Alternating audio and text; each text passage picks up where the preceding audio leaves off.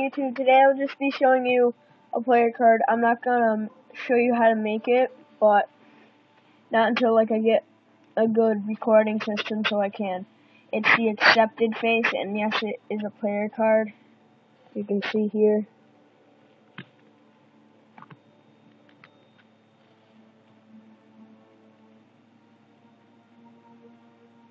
It's really easy.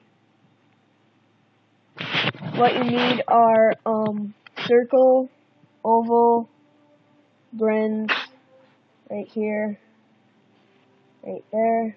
You gotta use an oval black one right there. Then you gotta take a white one and then just put it across it like that.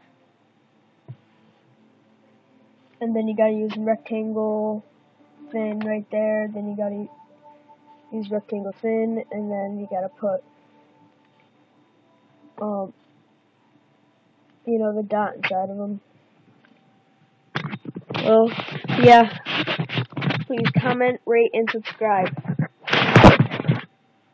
Peace.